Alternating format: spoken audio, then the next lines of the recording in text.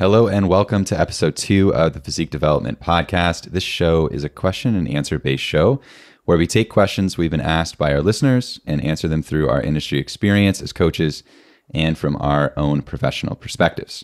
Today, we will be discussing three commonly asked questions slash topics. Number one, how to gauge progress, led by Coach Sue. Number two, how the how and why of performing deloads, led by yours truly here, Coach Austin. And number three, the ins and outs and benefits of maximizing your sleep, led by Coach Alex. What you can expect from today's podcast is for each topic or question to be put on the clock for about 15 to 20 minutes. The coach leading the topic or question will start the discussion. This will then be followed up by other coaches weighing in with their thoughts and perspe- their thoughts and perspectives um, from their experiences. It is our goal not only to supply you, the listener, with valuable insights on the topics or questions, but also to plant some seeds for further research and thought. So, without further ado, let's get into topic number one, which is going to be gauging progress. So, Sue, how can one successfully gauge their progress? Hey guys, and thanks for that intro, Austin. So, I wanted to talk about progress, um, not only because it's a common question that we get, but it's also something that people often gauge their progress by one metric. And so I think it's very important to look at all the metrics here as we're diving into that. So normally people just look at the scale to gauge progress. And it's something that a lot of my clients don't even weigh themselves because it's something that we found that the scale is doing more harm than good within us being able to understand okay, how is progress progressing, for lack of a better word. So, being able to look at biofeedback is extremely important. It's something that we do in all of our check-ins is being able to look at that full picture. And so, if you have a coach or if you don't have a coach, it's still extremely important to look at this biofeedback, probably even more so if you don't have a coach. So, if you're listening to this and you really want to understand, okay, how do I gauge how well I'm doing within this whole thing of fitness?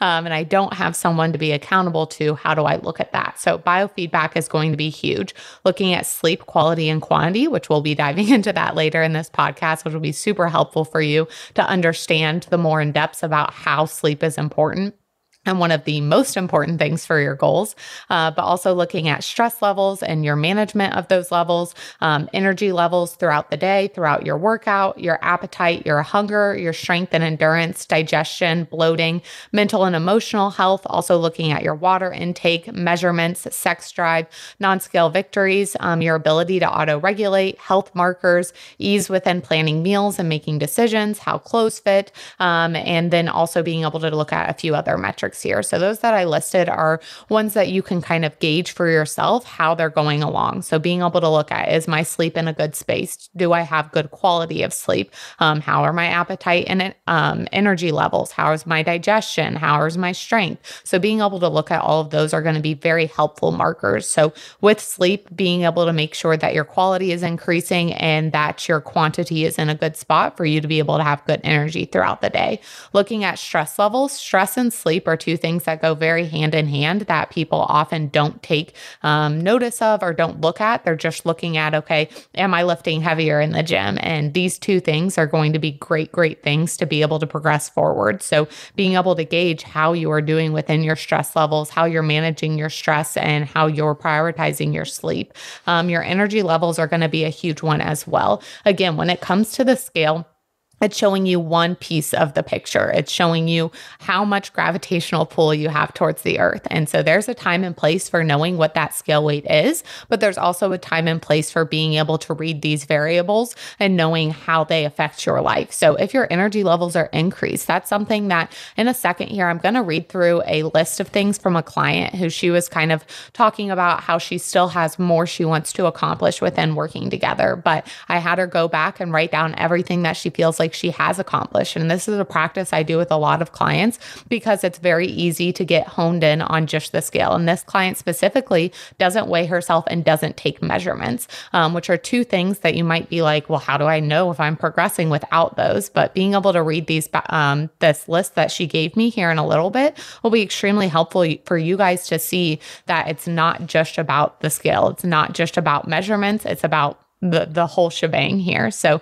also being able to look at appetite and hunger. Let's say maybe in the past that you've had unsatiable appetite or unsatiable hunger, being able to have that satiated is going to be a marker of progress or being able to have better hunger cues as a whole. I often have people come to me and say, "I don't know how to read my hunger cues or I don't feel like I have good hunger cues." So having better reflection and better reading of your body and how it is experiencing different things um, also being able to look at your strength and endurance. If going to the gym used to be something where you could barely get through a session um, and your energy throughout the day was tanking, that's also something that is going to be a marker of progress. How much you have endurance within it or how much strength you are gaining. And I'm going to talk about a few more things within training here in a little bit.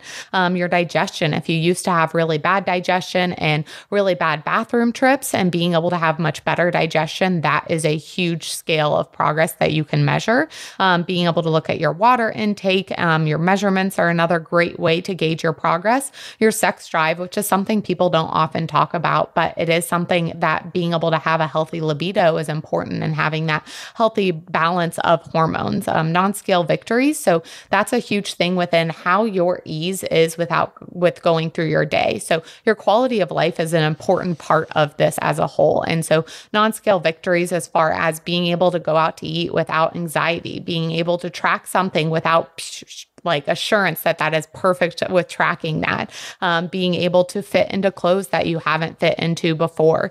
Um, being able to lift a weight uh, you haven't lifted before. Being able to do a weight for more reps. Those are all non-scale victories that you're able to take that forward. Being able to go to a social event without without freaking out about food or being able to make a, an easier decision when you go out or those decisions being easier when you go out. Um, also the ability to auto regulate you're if you are able to read yourself better and make those decisions a little bit better, that's a huge gauge of progress there. And then health markers. So if your blood pressure has improved or blood glucose levels or hormones, those are all markers of progress as well. Um, and then also being able to look within training. It's not just about increasing your weight that you can lift, but also looking at your RPE. So if you're able to lift a weight for a lower RPE, or if you're able to do a weight for a better tempo, tempo or have better control of it or better execution execution, or if, let's say, the rest periods are shorter and you're still able to do the same weight, um, or if that exercise is later in the workout and you're still able to do the same weight. So let's say that you're doing an overhead press, um, but it's after three pressing movements and you're still able to hit a higher number. That's a huge gauge of progress. So it's something that when it comes to progress, people just look at the scale or just look at how much weight they can lift um, and just being able to see well the scale hasn't moved or the scale has moved um, and what does that look like? But what I really ask clients and ask people um, to reflect on is looking at their quality of life, looking at all of these feedback markers, and being able to decide how they need to move forward and how they are moving forward. So,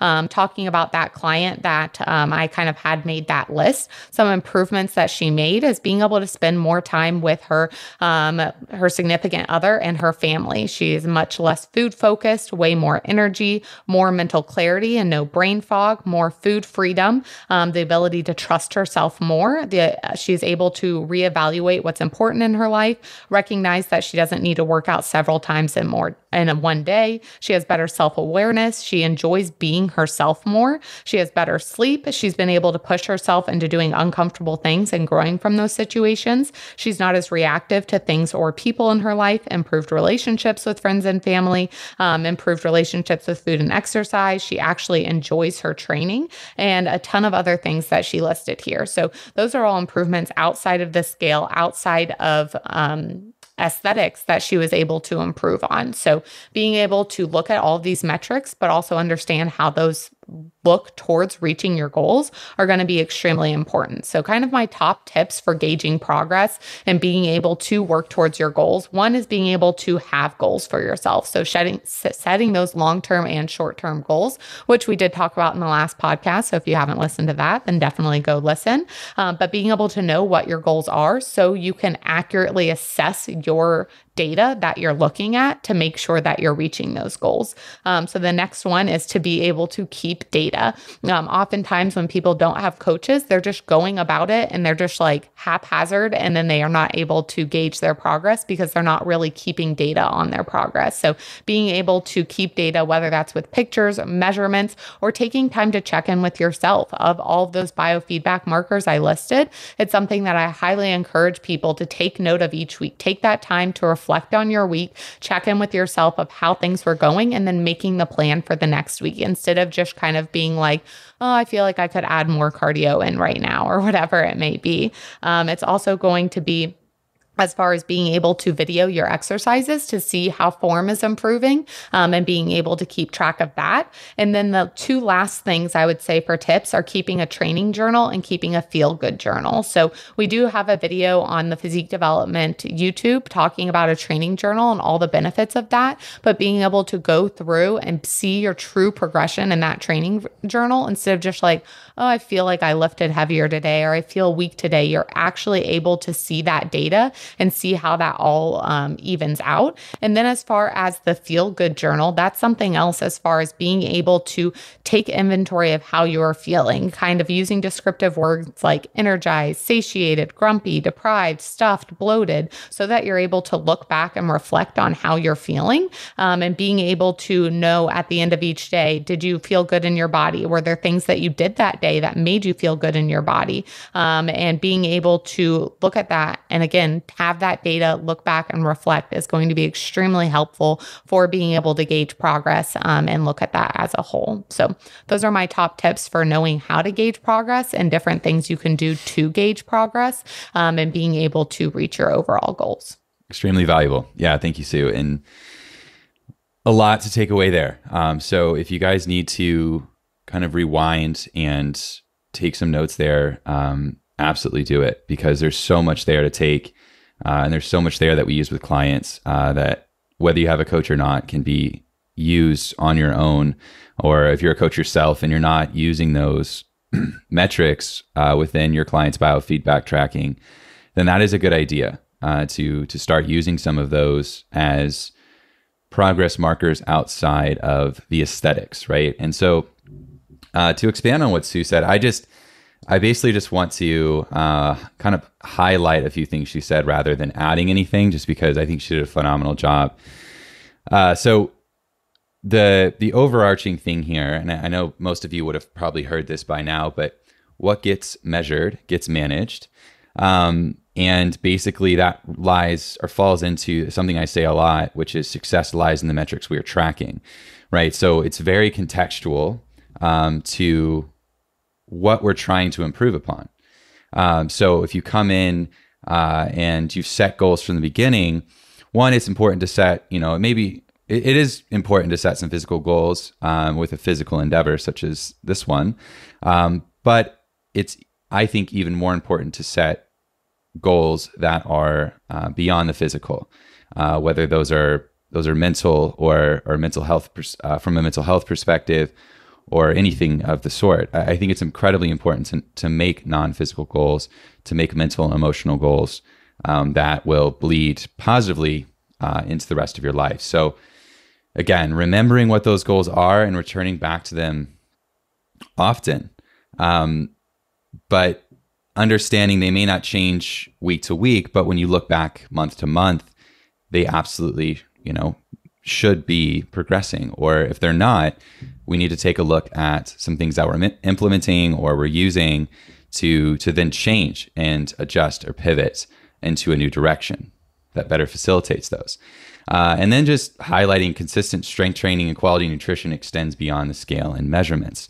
So impacting training success, whether that's strength, endurance, muscle growth, uh, mindset, uh, stress management, cognition, energy. These are things that you may not hear a ton about um, or even consider, but there's so much to strength training and feeding your body quality nutrition that does extend beyond the scale. It extends beyond the measurements and it extends beyond the sort of physical aesthetic goals that you may have. So that's all I wanted to add. Um, I'll give it to Alex now to see what I may have missed there. I'm just going to have two quick points. Um, because both of them touched on this greatly. So with the first one, it's just very liberating to to understand that there's so much more that you can track or see progression in uh, from clients or just from yourself within your own fitness journey uh, to have all these different components and say okay well really you know you may be very upset that you haven't lost all the weight that you maybe have wanted and then you're able to look at all the things that sue and austin touched on and you're like damn i've i've i've kicked ass over the past you know three months or whatever it's been. And so that's very cool for uh, you as the listener to to realize. And then one thing that we have uh, physique development clients do when they do depart is that you know I, we encourage to still use the check-in doc to still use the tracker sheet to allow for yours to kind of self audit each week of like okay how am i progressing you know, all the things that sue's already touched on where uh, you're still going to have those checkpoints even with even though you're not sending it to a coach, you're still able to look at the photos, still able to compare the photos and look at all the biofeedback uh, to see that progress. And that's going to be helpful for you to still sustain the goals that you had with your coach because it's a very cool feeling to spend six months to a year to two years working with a coach and having great results. But it's even cooler to be able to come back to that coach a year later and say, hey, look what I've been able to uh, accomplish even more so uh, after our time uh, concluded working together. So, very awesome uh, points there. Now we will move into into question two. Austin, should we be performing deloads within our training, and if so, how should we implement them uh, throughout the training itself? Well, great question, Alex. Um, Thank you. so this was a this was a common question um, among our listenership here. Uh, and our people who kind of follow us through social and, and that stuff. And it's just a common question in general. And deloads, uh, period training periodization as a whole is sort of a, I want to say a gray area, but it's it's something that you can get lost in very easily. But understand that it's just a way of organizing and conceptualizing the big picture of training and trying to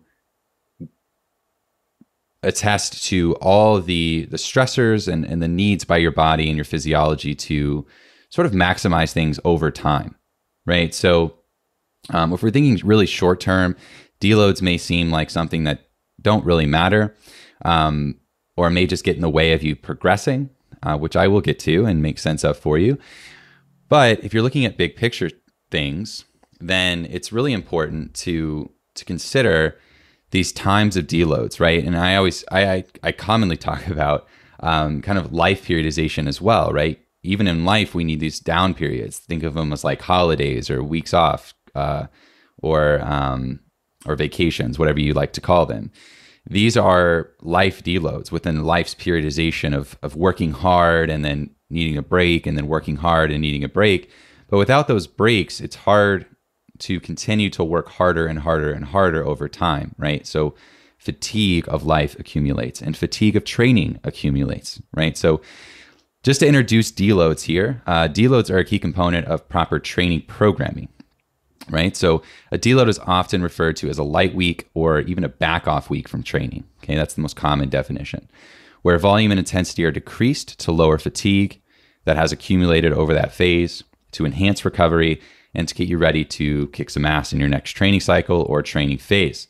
Uh, a deload needs to help facilitate the recovery needed for you to return back to a state where you can do hard training again, right? So if you're someone who really enjoys to train hard, which I know us in this room right now um, or on this podcast really do like to train hard, and I'm going to assume that a lot of you listening like to train hard and challenge yourself and to, to quote Sue here, do hard things, which is very important to do over time um, and can bring a host of benefits um, outside, again, of the physical. So if we want to continue to train hard, we need a deload um, and a deload that helps facilitate the recovery needed for us to return back to a state where we can do that hard training again.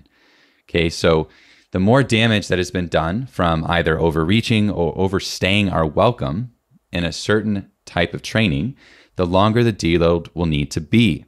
Okay, so keep that in mind um, as we go here. So, a common length for a deload is typically a week, um, could be two weeks, but I have absolutely programmed them in and seen them to be all the way up to four weeks right? And those are going to kind of vary. I'd say the most common one is going to be at the one week deload. Um, but that's if you're using them strategically, intelligently, and more often than not. Okay. And we'll kind of get into how often to, to potentially add them in and kind of what a planned or reactive deload is a little bit later. Okay. So to get to the main question here, should we perform deloads? Yes, I believe you should. Okay. And here's why. First, we need to take a look at what happens when we strength train. All right. So I'm going to use a couple terms here. I'm going to introduce a couple terms if you're not familiar with them that are pretty common within the sports science community um, and just help us make sense of what's kind of going on in our within our physiology while we strength train or really cause any stress uh, to our system. Okay. So the first one uh, is going to be the general adaptation syndrome. I'll say that again because I, I messed that one up. General adaptation syndrome, which is like typically the GAS model, GAS, um, which basically explains the stimulus we're creating in our training uh, creates a response, followed by an alarm stage, coupled with a resistance stage where positive adaptations occur. Okay, so we have that alarm stage, which is basically our initial response to that stimulus, um, where things will sort of go down, if you will, as far as our abilities and performance.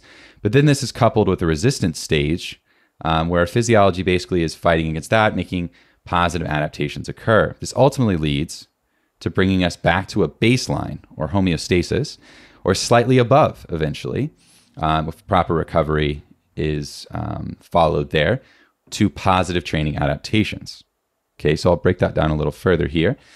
That leads us into the what is known as the fitness fatigue model, okay, which shows us the relationship between improving fitness and the fatigue that will accumulate throughout a training phase, right? So with, throughout any training phase we do, our goal is to obviously improve our fitness, which falls under performance, falls under um, sort of any umbrella of fitness altogether, right? So positive adaptations, you can think of it that way. But fatigue will build um, throughout that phase, right? So, although fitness is improving incrementally, fatigue is also accumulating incrementally, which can, if we don't dissipate that fatigue, which means get rid of it, um, which typically that's what we use deloads for. Actually, most often that's what we're using deloads for is to help dissipate or get rid of that fatigue that has accumulated over that given training block, which could be, or phase, which could be, you know, if the phase, let's say, is four weeks or six weeks or, or whatever that is, right? So um, I would say commonly within our, um, within a lot of our athletes, but a lot of our more, especially more advanced clients, or people that just really love to train hard, you know, that that's going to come after four, five, six weeks of training. Um, and again, that's uh, fatigue is going to build at different rates within an individual. Um, so this goes down to that individual's uh, sort of fatigue tolerance, their volume tolerance, their recoverability, so their ability to recover from doing hard or stressful things. Um, and depending on the health status, or genetics, or a lot of different things, um, this can vary per individual. But um, it's generally with the people we work with, at least, um, and, and the folks that you may work with, it's going to sort of be within a certain range, right? It's not going to be like, well, this person needs one after a week, or this person, be it that you programmed correctly, or this person needs one after like eight months of training, right? So it's not going to be that drastic. Um, and if it is, then you may need to go back to the drawing board of programming and and maybe fill in some some holes there uh, within your uh, the way you're programming. But again, fatigue is going to build at different rates depending on the individual, how they're training, how well they're recovering from everything. Uh, this is why sleep and nutrition and stress management are so important. And uh, Alex is definitely going to touch on uh, the sleep component of that. Um, and it also goes back to gauging progress as well and uh, taking a look at biofeedback, which uh, Sue just touched on very well there as well. So, um, where do deloads come in? Deloads make their way into our training in two different ways, right? So I kind of alluded to these earlier. One is planned, a planned deload, and one is a reactive deload. Um, or you can kind of think it as the planned as sort of like a proactive deload, and the other one is still going to stay reactive um, in a deload sense. So a planned deload is the one, or a proactive deload is the one that is a little bit more proactive and is actually preset within your programming by your coach or whoever's writing your programming. So that may be yourself, um, or maybe a program that you bought um, from someone, uh, or the coach, uh, your coach's program they've written for you. Okay, so that's more going to be the preset. Um, hey, at five weeks, we're going to take a deload just because the way we progress in accumulated volume here or intensity, it's going to be a good idea to go ahead and sort of pre plan that. Um, and those have their place, absolutely. And the reactive deload is a little bit more advanced and takes into consideration the individual, how they're recovering and progressing uh, throughout their current training. So, this gets into kind of if you have a coach or you are a coach yourself, or you're someone who is keeping track of biofeedback, um, like these other two have mentioned throughout uh, this episode so far, um, you can sort of reactively implement a deload uh, based off of more of the feedback perspective, uh, based off strength numbers, based off recoverability, um, sleep, stress, uh, all of these factors, right? Uh, digestion is one as well that it's going to sort of flare up. Um, you were looking for drastic changes, right, from week to week. Um, meaning, so if the first five weeks of this phase, everything's progressing well, and at week six or at maybe at week five, something changes. Sleep sleep tanks, digestion tanks. Um, I'm not improving. My strength is actually dec- or, uh, digressed or decreased. These are things, these are telling signs of the start to, to moving in the opposite direction that we're wanting to move in. And that's a great time to deload, right?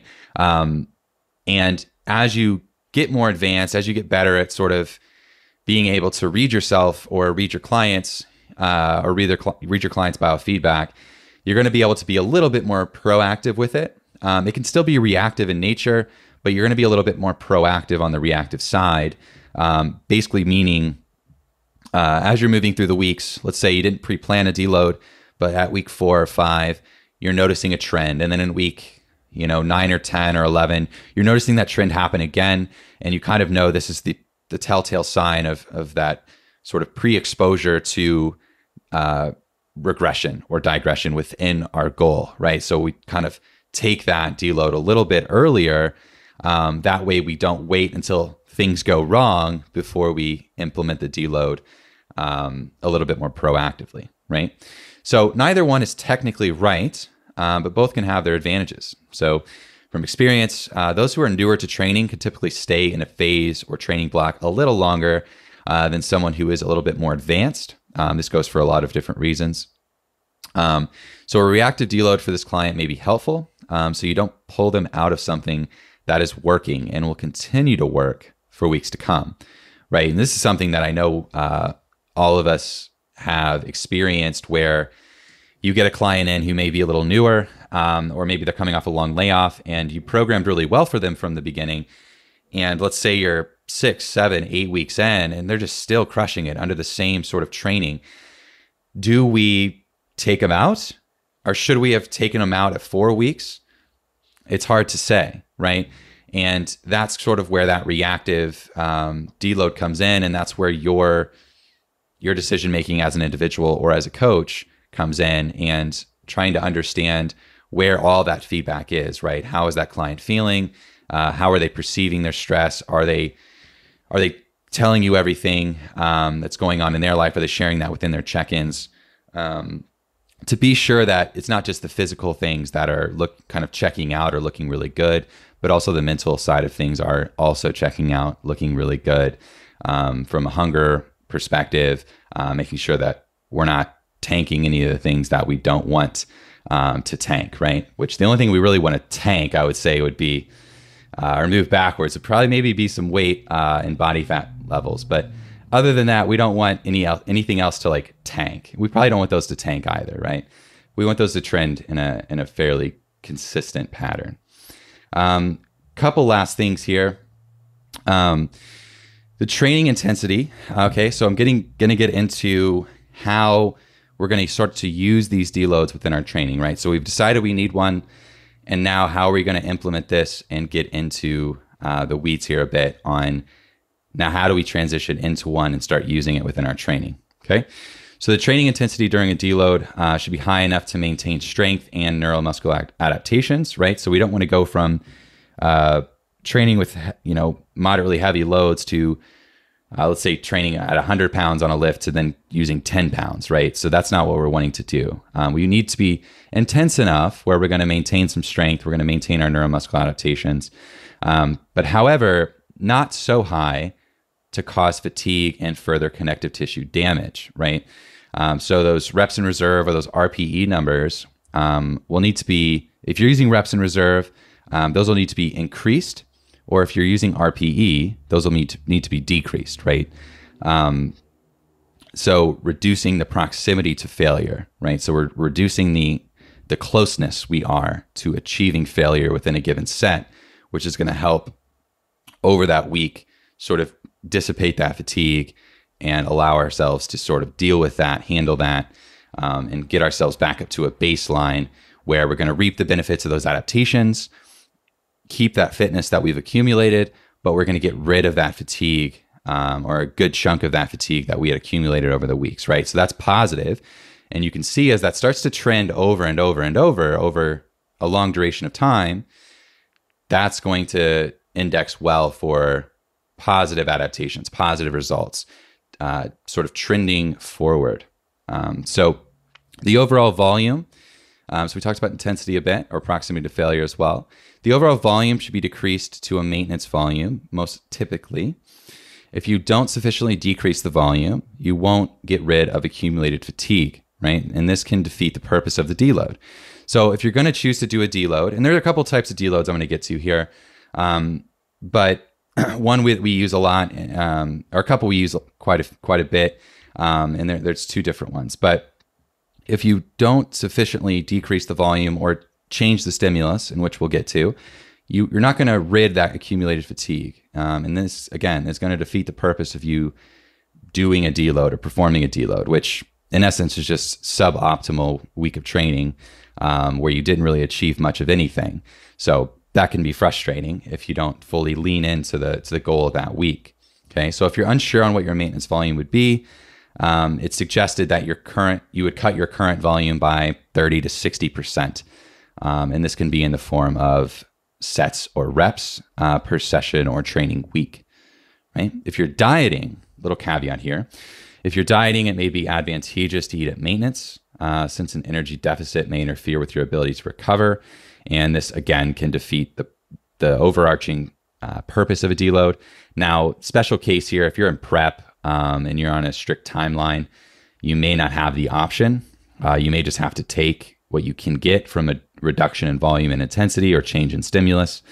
Uh, but if you do have the time and you do have the sort of the, the, the resources to allocate to that, I would recommend, uh, or we would we would recommend to do that.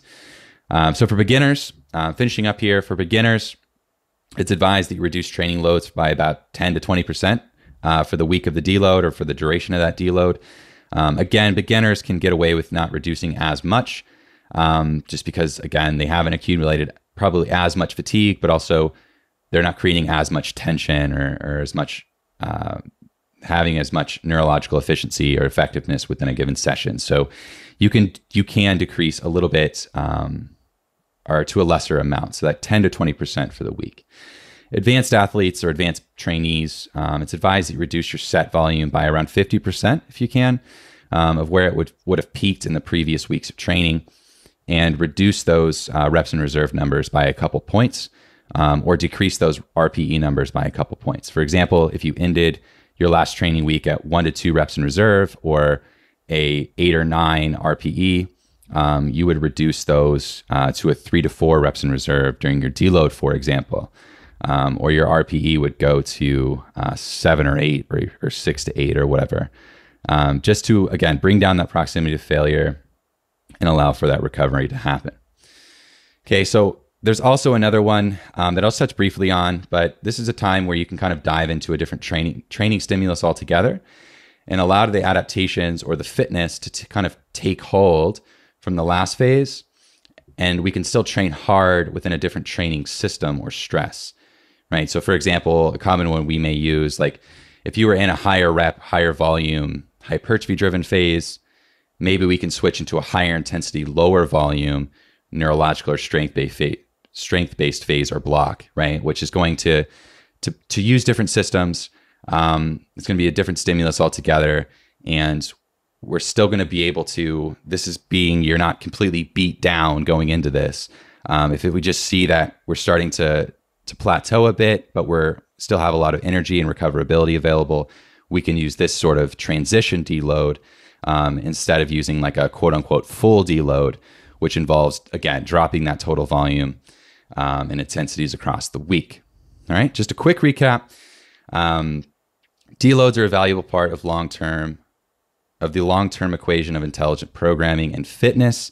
And a deload needs to help facilitate the recovery needed for you to return back to a state where you can do hard training again, right? We need to be able to do hard things continuously over time, but that does take these weeks where we are taking things back a step, right? So the more damage that's been done from either overreaching or overstaying your welcome in a certain type of training, the longer that deload will need to be.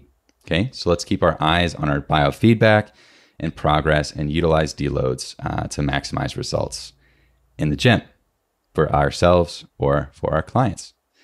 And that's all she wrote for me. That's all, that's all I got. um, so with with deloads, I don't have a ton to to add as Austin did a fantastic job and, and touched on many of the points that I would have as well.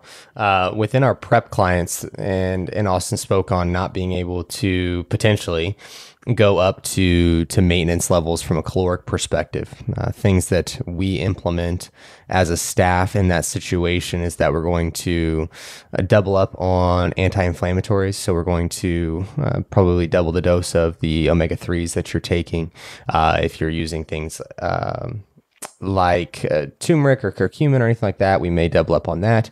Um, and then we're going to make a huge point of, of antioxidants and getting plenty of vitamins and minerals from our food. So your fruit and vegetable intake is going to skyrocket in that time frame too. Uh, so making even it's always a great priority within your dieting phase as a whole, but in that deloading phase, if we're not able to bring you up calorically, then at that point we're just going to really push from a, a fruit and vegetable perspective as well. Um, and I think that was really the, the main point. I think that an easy analogy here within deloads is just thinking that you're you yourself are a vehicle and you are using that gas pedal however you are within your training and you're going to run out of gas at some point. And so being able to pay attention to the biofeedback, pull over, get you some gas and, and get back rolling, serving as your deload is going to be the best way to think about it. I'm very surprised Alex didn't make a joke about me running out of gas on the side of the road um, during that because that has happened to me, and I had to wait in my car for an hour for a tow truck. That's to that come. four week deload uh, too. That, yeah. yeah. it was. It was um, super, super great learning experience. Um, there's not a lot of gas stations from Corydon to Evansville. Um, and if you pass Corydon, you you're just kind of stuck. so pro tip if you're a Midwestern Westerner. Um, but uh, the things I wanted to touch on, I mean, Austin did a great job diving into it, and Alex covering some nutrition side of that. Um, but a common phrase or a phrase that I had heard from um, one of our friends, Alan Kress, is deload to reload. So it is going to be a great time. Don't think of it as like a step back and you are regressing, but more so as like you are taking that step to be able to continue progressing. And um, Austin touched on this of being able to have those breaks in life. And that's how I phrase it to clients clients and to other people is just the fact that you need breaks from everything in life. It's a reason that we take breaks to sleep. We can't be awake all the time. We take breaks from tracking because we need that mental rest or even having free meals of taking that time away from tracking. Um, we take breaks from work and going on vacation.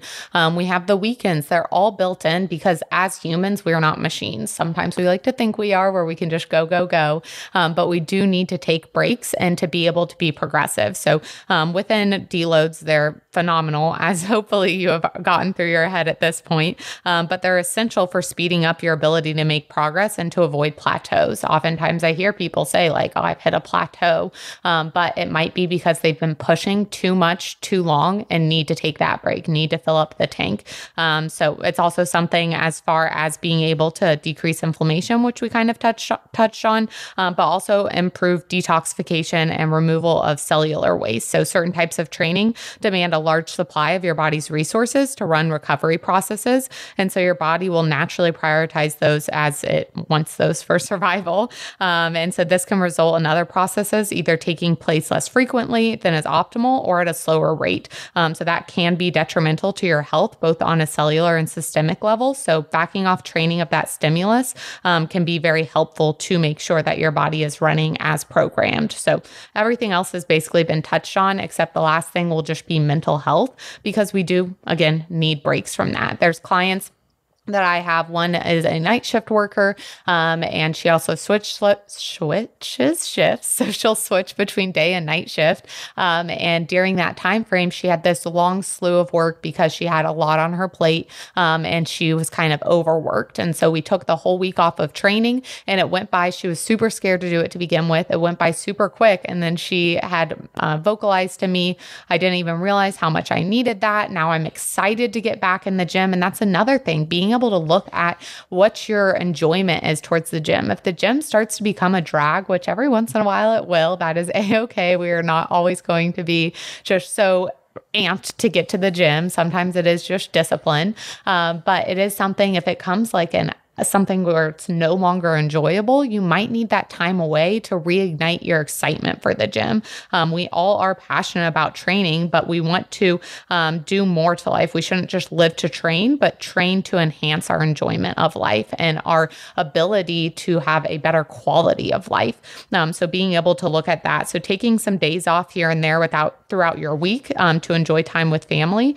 as well as taking time off as a whole can decrease um, that mental stress and have that effect on your body that's going to be extremely beneficial for you down the road um, and being able to continue to have that progress. So, um, as Austin had mentioned, within the deload, the time frame can vary, and then also the way you go about it, as far as either switching stimulus or doing uh, percentages less. But it can also be something where you either take all of it off of training and implement a different type of training. So sometimes I'll have clients not go to the gym at all, but still have some sort of movement goal. So uh, oftentimes it's yoga because that is extremely helpful for that rest and digest. And it also gives them another form of movement instead of just, I need to get in the gym, pounding the weights and getting after it. Because when it comes to physical activity, it's there's so many things that you can do for physical activity. So, also getting clients out of the mindset that going to the gym is the only way they can see progress. So, encouraging them to have a step goal during that time, encouraging them to take the time that they would have spent in the gym and spend that with their family, or taking that time to spend on themselves, or to meal prep, or to go on walks or do yoga. So, it is very multifaceted and extremely beneficial throughout your fitness journey. So, that's everything on deloads. And then we're going to move over to Alex here and learn a little bit about sleep. So, when it comes to sleep, what are the ins and outs and benefits of maximizing sleep, Alex? I'm so glad you asked this as I have all the answers. All of them. All right. So, uh, this is interesting because uh, all three of us select a question uh, from clients or from uh, people who follow Inst- or follow Instagram, follow us on Instagram, and uh, it's interesting because all three of these tied together, which is which is awesome. Uh, this is going to sleep itself is going to be the one of the, if not the biggest contributor to your muscle gain or or fat loss goals that you have, uh, especially now and in the culture that we live in, where it's go go go go go uh, you know, sleep when you're dead type thought process. Uh, sleep is going to be your biggest enhancement uh, that can be to your life as a whole, as well as all of your fitness goals. Now, if we run into a situation where we are having low sleep, even in the short term, we're going to experience some negative uh, side effects from that. And in the short term, we're going to experience uh, raised cortisol levels, uh, irritability. With those raised cortisol levels, we're going to uh, see that hinder uh, fat loss. Um, and then we're also going to see a reduction in insulin sensitivity and glucose tolerance, which is, of course, going to hinder our fat loss goals. And then we will also see in the short term leptin and ghrelin being uh, affected in the sense that uh, our hunger signaling is going to be negatively affected, could be in a, a surplus of you know insatiable hunger. And it also could be in the opposite direction where the individual is is not hungry at all. We you know it what we see from a research perspective is that seems to be more genetically traced than anything else but you could go on opposite ends of the extremes on that front. And then growth hormone and testosterone are going to be affected from a hormonal function perspective as while we are sleeping especially in quality sleep those two things, growth hormone and testosterone production, are going to be very much so enhanced. If we see a long term low sleep, uh, we're going to see the aging process be accelerated. We're going to see a disruption in circadian rhythm, which is going to uh, affect many things mood, anxiety, um, cognitive function, your energy levels on the long haul. Uh, and then it could also worsen any chronic or uh, degenerative diseases that you may be experiencing. So, as I use the scare tactic of, of having low sleep here, let's dig into how we maximize the uh, your sleep as a whole. And I want to start with the environment and routine of your sleep, as this is going to be the the most foo foo uh, of them all, uh, according to many. But this is going to play a, a huge factor. So having a a set time of sleep and a set time of waking all seven days of the week is going to be immensely beneficial in terms of routine and setting up the structure of, of your circadian rhythm as a whole. Um, and then within your environment, uh, and routine itself, establishing this within kind of like your initial one to two hours before you go to sleep and the initial one to two hours of, of when you're waking is going to be very beneficial uh, to the production of your day, as well as getting yourself into the rhythmic um, timing uh, of your sleep as a whole. And so when we're looking at the kind of the nighttime routine, we want to look at limiting the the screen activity, uh, blue light exposure that you're having, whether that be movies, whether that be your phone, your laptop, trying to cut that out about 2 to 3 hours before you go to bed. Now, I understand that's not necessarily feasible for maybe you as an individual who has 16 credit hours right now as well as working you know 20 to 30 hours at your part-time job. You're trying to get homework done right before you have to go to bed. And so utilizing things such as blue light uh, glasses blockers will be beneficial for you in that sense because i know it's not always just feasible to like turn all the lights off and use candles and and sing kumbaya with your significant other. Um, so that's going to be a good thing there. Outdoor leisurely walks yoga, uh, reading a good book, relaxing with your spouse, those type of things are going to put you in a parasympathetic state, which is going to get you in a, a restful mindset to be ready to go to sleep and, and getting everything from a hormonal secretion perspective in the right place um, a hot shower before bed, a very clean environment within your within your bedroom, uh, clean sheets, and then also like scents. I, am I'm, I'm someone who responds very uh, very well to the smell of different things, and so I I categorize different places with or different task, I should say, with the the scent. And so that could be helpful, like a lavender essential oil or something like that could be something that you associate with uh, sleeping in and of itself. Um, so that's the the environment and the routine aspect of things. Now, as we look at maybe the nutritional aspect of maximizing your sleep. Uh, a larger meal, maybe two to three hours before bed, is going to be beneficial. Uh, if you're going to have something smaller, maybe 60 minutes, trying not to eat you know 20 minutes before, uh, this massive meal 20 minutes before bed trying to digest that food while you're trying to sleep is probably not going to be the most comfortable or relaxing. Um, and then having that meal being more of a, a, balanced macro intake. I'm sure that some of you have maybe read that a high carb meal before bed is going to en- enhance the quality of your sleep. And we do want to have carbs in that meal, of course, but having this large bolus is not necessary. And then maybe some of you have also read that having carbs before bed is going to blunt the secretion of human growth hormone. And so now we look at this and say we just want to have balance. We want to have protein. We want to have carbohydrates. We want to have fats within that meal to um, assist our body in in the recovery process. Um, cutting off caffeine consumption at 10 hours before bed, man, is that an ask? but it will be beneficial to you in terms of your overall quality of sleep and not trying to metabolize that caffeine while you're trying to rest. So as close as you can get to that 10 hour marker is going to be the best. And then not trying or trying not to consume too many fluids close to bed. So if you're you know if you're falling behind on your water let's say you've got like 60 ounces and you're going to bed in about an hour. Uh, i would tell you just to sip the water chalk it up as an l for the day and uh, do a better job of, of getting your fluids in the day before or the next day. Uh, now when we look at at training uh, training close to the time that you're wanting to go to bed is going to have your central nervous system revved up and probably going to inhibit your ability to get into that restful state. So, doing your best to uh, train at the latest, maybe four hours prior to um, to going to bed is a kind of a, a, good rule of thumb, if you will. But finding yourself where you're you're training and then trying to get into this restful state and quality of sleep. Right, we're not looking for just closing our eyes and being able to lay in the bed for X amount of time.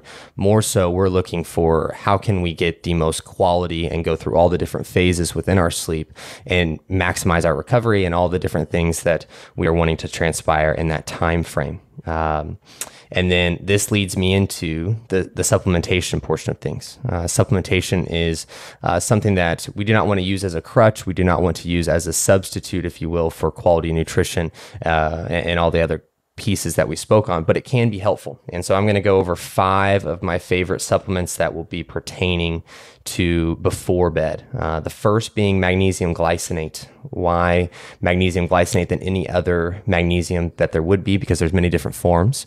Uh, so when we look at magnesium glycinate, this is going to be the highest absorption form of the magnesium from a research perspective. So this magnesium is going to help with um, muscle relaxation. It's going to help with body temperature control. And then we have seen uh, it be helpful in GABA production, which is going to help in terms of mental relaxation as well. So that's going to be the number one. In terms of uh, dosage within that, it can range, I would say, between 200 and 400 milligrams is going to be your friend on that front. Um, omega 3s, this is going to be an anti inflammatory that we would be utilizing throughout the day as a whole anyway. Uh, but this is going to be helpful. Uh, DHA, so you if if you're a client of physique development, uh, you hear us speak very frequently on the high amount of EPA and DHA content within the fish oil, uh, and with the DHA is going to help with the secretion of melatonin, which of course we want at that time, and then it's going to help with the decrease in inflammation as well as improving the uh, body temperature. Glycine is going to be fantastic as well. This is going to help with uh, relaxing the mind, lowering the body temperature. Theanine is going to be helpful as well, where that's going to help again with relaxation, getting you into that state of being ready to go to sleep. And then the final is going to be rutaecarpine, which is an herb, and this is going to help with the metabolization of caffeine. I, I, spoke on cutting out the caffeine about 10 hours before bed earlier. I know that many of you listening are, are laughing and saying, I don't know if I can do that. And so rutaecarpine is going to be helpful with you metabolizing that caffeine and, and resensitizing, if you will. I'm using air quotes for those who cannot see us, um, your adrenals to the caffeine and, and, allowing for that caffeine to have the same effect the days you know to come. Uh, because as many of you have found that your your single uh, 3D energy or your single Reign every day is now turning into maybe uh, two. And so we want to cut that back down to hopefully one um, and, and, keep you in the best spot possible. So that was a ton of information in terms of improving your sleep and maximizing it as a whole. Um, let's have these two guys weigh in. Yeah, you absolutely killed it there and went over a whole slew of things. So, definitely, if you need to go back and re listen to some of that, then go ahead and do that. So, I'm going to kind of go over some things within sleep, how Alex talked about within this day and age, people kind of are like, oh, I don't need sleep. Um, and something, I, a phrase I would like to say is sleep isn't for the weak, it's for the elite. So, sleep is the missing element element of so many people's fitness routines. Um, and when it comes to sleep and everything it does for you. So, Alex kind of talked on it um, at the beginning, but it can disrupt how, or lack of sleep or chronic lack of sleep can disrupt how your body sends information, make it more difficult to concentrate or learn new things. It can decrease coordination and balance. It can negatively affect your mental abilities and emotional state. It can compromise decision making processes and creativity. It can weaken your immune system, which none of us have time for right now. Um, it can also worsen existing respiratory diseases. It can affect your bowel movements, but it can also lead to fat gain, as Alex talked about, with increased levels of ghrelin and de- decreased levels of leptin. It can also make you too tired to train or make your tra- training sessions lower quality or put you at more risk for injury. It can reduce your fat cells' ability to respond properly to insulin, which can not only promote fat storage, but can also increase risk for type 2 diabetes.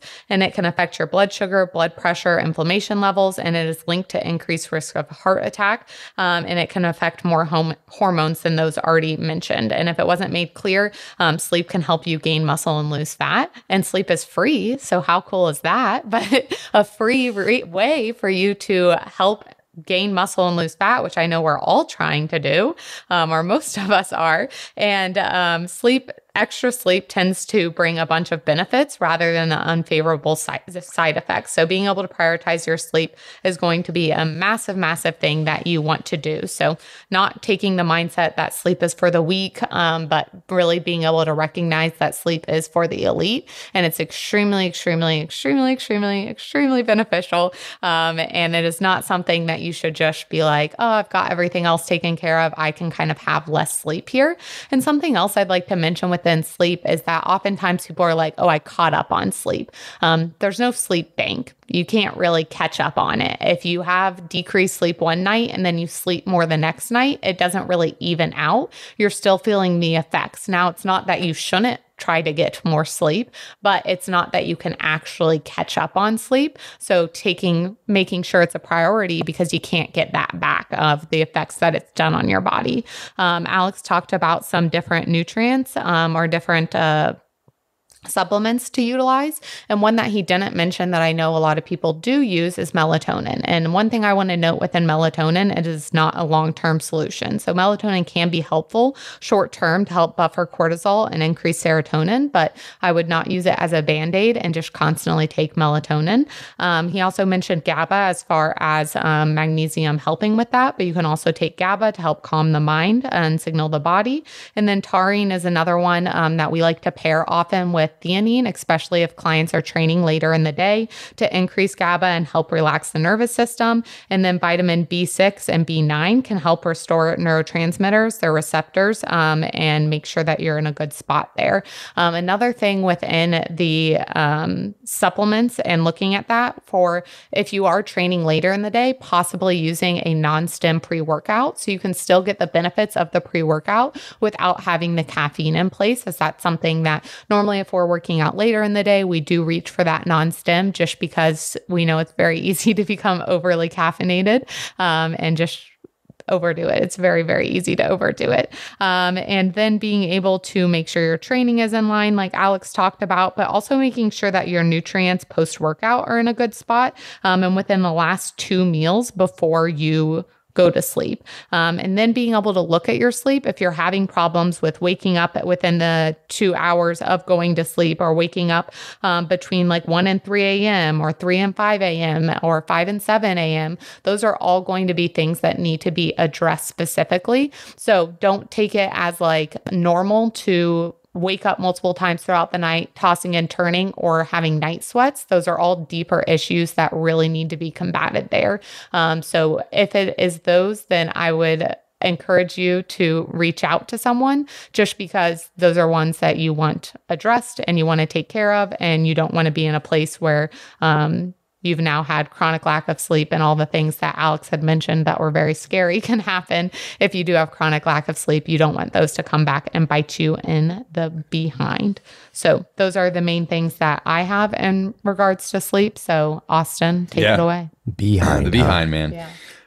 Behind. It's, Don't let it bite you that's in the right. behind. Um, and I'm going to speak know. about uh, one thing that you you would not want to bite you in the behind either, which is um, I, I like this lion analogy. Um, and I know I've mentioned this before. I heard this on a podcast. It was like a TED talk or something. Um, and this just resonated so so well with me.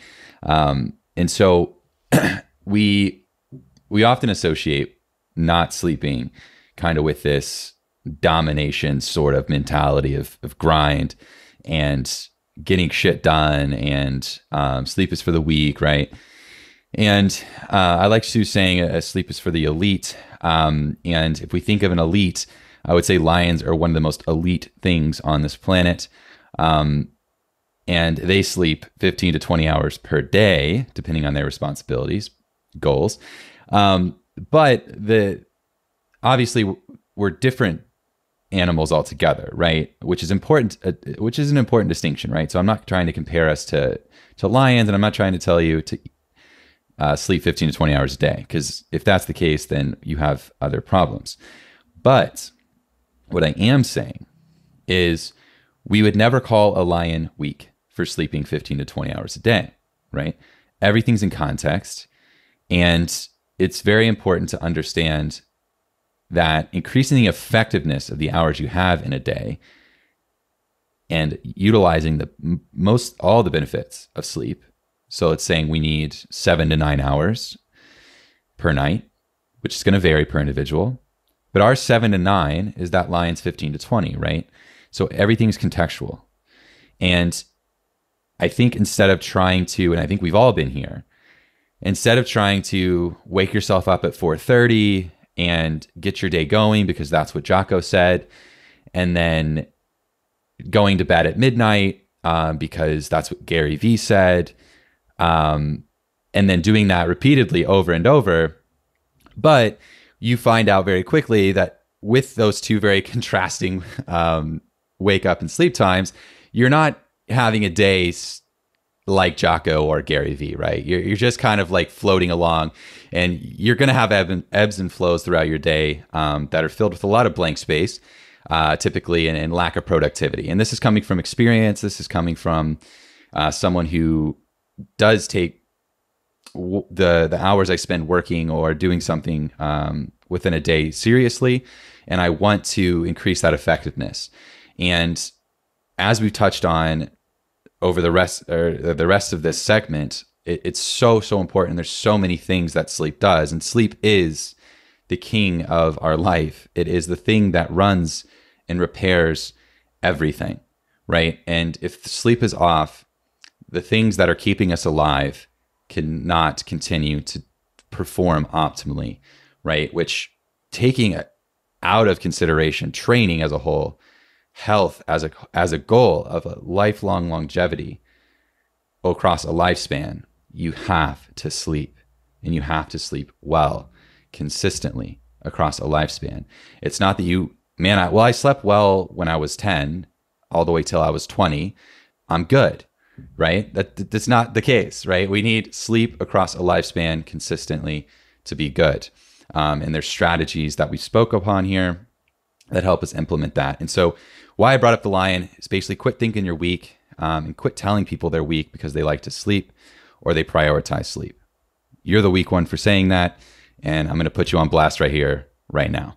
Okay, so restructure the way you're thinking about that, um, and it's not going to be an easy transition if you're someone who has that mindset. Okay. Um, I'm not here to discourage. I'm here to empower you to give a shit about it and fix it uh, because it is so important. And as someone who has spent the last couple of years with real sleep issues, it completely changed my life for the negative um, when I was not sleeping well. Okay. And over this past six months or so, eight months, I've really, really, really turned that around. And I, I can say I'm altogether a better version of myself um, than I was. And obviously, there's a lot of components of life that get gets in the way. But it when it came down to it, it was me not wanting to take ownership of having to fix that component of my life or putting the effort in to fix it because it wasn't an easy transition. It wasn't an easy change and it wasn't an easy fix because I had to change a lot of habits that I had accumulated were not helping my cause. Right. And so I'm here to put you on blast, but I'm also here to shit on myself for a moment because I was the one not doing it. Right. I was the, I'm, I'm the one that's in your camp right now. All right. So I'm speaking from experience and I'm also speaking from a professional sense of you have to do it. Um, and then I will just finish up and say that alongside a lot of the nutritional, hormonal um, things that do happen from a physiological perspective, it's also going to play in those things, those underlying physiological things are going to also play into uh, your training volume, the amount of training volume that you can now handle, uh, your recoverability, and your ability to handle fatigue throughout a session or a phase um, or training week, rather. So it's really important um, to utilize autoregulation if you can. Um, meaning, if you know you just got a kind of a crappy night's sleep, this does happen. This happens all the time. It's a, unfortunately a byproduct of our, the world we live in today. Um, and depending on sort of the responsibility you take on prioritizing sleep, but sometimes you could do everything right. You just don't have a good night's sleep for whatever reason, right? And that's okay. But you have to also then adjust or start to adjust, right? If it's a really shitty one to two nights of sleep, maybe that bleeds into three. Like we have to start manipulating training to an extent, right? And this is where auto regulation comes in. Um, and so let's say you had five sets on deck for pressing tomorrow. And after three, you're just like, wow, it feels like I just did five of the hardest sets of my life after three maybe we start to auto regulate things. Maybe we either reduce loads, maybe we just reduce the overall sets. Um, and this is a conversation that you are going to have with your coach or whoever you're working with or, or just yourself. Um, but it's going to hinder. And the, the longer this persists, it's going to hinder it more and more, right? So after one night, you may be able just to have some pre workout because um, caffeine has shown to kind of counteract sleep detriment um, over like kind of a day's uh, timeline. So if you have a rough night of sleep, maybe you can take some pre workout before you lift in the morning or in the afternoon and be okay. But also don't, again, as we said, don't use that as a crutch because if you're, let's say you're training at night, you can't then take caffeine, which is then going to keep you up, which is going to be that perpetual feedback loop of hell of never sleeping, right? And you're going to throw off everything that we just worked so hard to fix. Okay. So it is important. And I'll kind of wrap it up there. But sleep sleep is not for the weak, as we've said. Um, I, I think sleep is one of the most selfish and intelligent decisions you can make in your life, and to surround yourself with people who also prioritize sleep and being a smart human, um, and don't act with recklessness. Because unless you are a 13 year old, um, uh, you still should sleep as a child. It's probably the most important time to sleep. So even if you are 13, sleep. Um, but we're not kids anymore, at least the ones listening here, right? So make the adult decision, sleep. It, uh, your health depends on it. So that's why I'm just going to wrap that up. Um, and if you want to gain muscle and lose fat, you should also sleep. Yeah. And one thing I want to add in before we finish up this episode is just like Austin said, we aren't all perfect in these situations. Alex, Austin, and I all have our own shit that we need to deal with and that we need to address. And like with caffeine, as I said, I have 100% overutilized caffeine and I have 100% um, negated sleep when I needed to. And so, of two other tips within sleep is if you are finding yourself doing that, waking up at 4 a.m., going to sleep at midnight, um, because I know Alex and I semi recently got into a bad habit of going to sleep at 1 a.m. and waking up at 5 a.m not a good habit to get into. Um, but it was something that we just moved our sleep time up by 15 to 30 minutes each night instead of being like, we're going to sleep five hours earlier, because that's a really hard transition on your day. So that's something as far as moving your sleep time up just a little bit each day is going to be helpful. But also, as Alex talked about within scent association, also looking at room association. So making sure that you're not doing stuff in your room, in your bedroom, um, making sure that you are leaving that for sleep and not making it something that you are getting revved up about something else. So before Alex and I met, and he was so just put off by this, I used to do everything in my bedroom. At the time, I didn't really have a good relationship with my roommate. So I just like hid out in my bedroom and I would do work in my bedroom. I would eat in my bed, which now I realize it was never a good idea. Disgusting. and Alex was very disgusted by me. Um, but I would eat in my bed. I would do work in my bed. I would do everything in my bedroom. And I had awful sleep issues. And now I look back and I'm like, well, you wonder why, Sue. So being able to look at what you're doing in that room and how you're associating that room to make sure that you're taking away from that. We don't spend much time in our bedroom other than going to sleep and then our bathroom getting ready and stuff like that. But it is not some place that I hang out throughout the day. And it's very much so improved my sleep quality and quantity. So just two last tips that I thought of as we are signing off here in in room association, we're very much so all three of us are the understanding that it is certainly a luxury. So uh, if you're in college and you've got a you know a one bedroom apartment or things of that nature, you know do your best in that sense of like being able to use the room association to its fullest degree. Maybe corner association because I had to do that for a while. corner association, it is. Michael Scott Paper Company uh, signing off. There. Yes. All right, guys the corner that I relax can't be the corner that I work. right. Oh God! All right, guys, that's uh, that's it for today.